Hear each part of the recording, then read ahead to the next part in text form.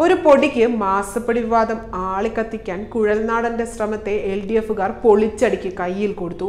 കുഴൽനാടന്റെ ഈ ആരോപണങ്ങൾക്ക് പ്രതികരണവുമായി തോമസ് ഐസക് രംഗത്ത് വന്നു.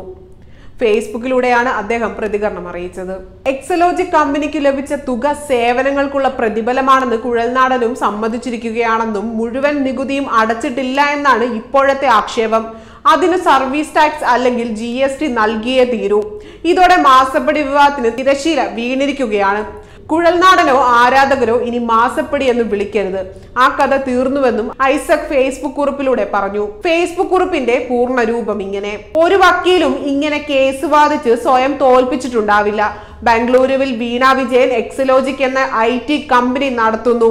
ഈ കമ്പനിയും വീണയും കെ ആർ എം എൽ കമ്പനിയുമായി കൺസൾട്ടൻസി സർവീസിനുള്ള കരാറിൽ ഒപ്പിട്ടു.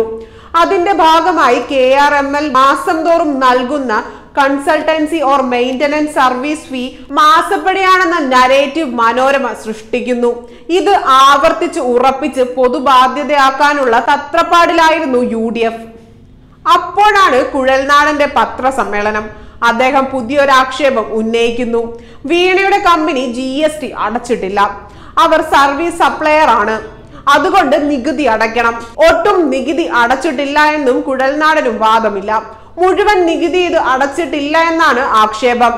നികുതി വെട്ടിപ്പ് അന്വേഷിക്കണമെന്ന് ആവശ്യപ്പെട്ട് ധനമന്ത്രിക്ക് പരാതി നൽകുകയും ചെയ്തു.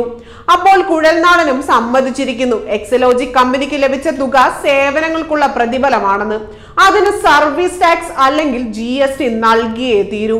ഇതോടെ മാസപ്പടി വിവാദത്തിന് തിരശീല വീണിരിക്കുകയാണ്. കുഴൽനാടനോ ആരാധകരോ ഇനി മാസപ്പടി എന്ന് വിളിക്കരുത്. ആ കഥ തീർന്നു. ഇനിയുള്ളത് ജി എസ് ടി അടച്ചോ എന്നുള്ളതാണ്.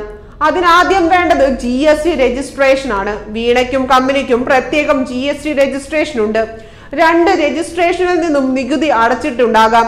ഇനി വേണ്ടത് പൂർണ നികുതി അടച്ചിട്ടുണ്ടോ എന്ന് റീ അസസ് ചെയ്യണമെന്നതാണ്. അതും വകുപ്പ് പരിശോധിച്ച് വ്യക്തത വരുത്തും. അതിന് നടപടിക്രമങ്ങളുണ്ട്. പക്ഷേ ഇതിലെന്ത് അഴിമതി?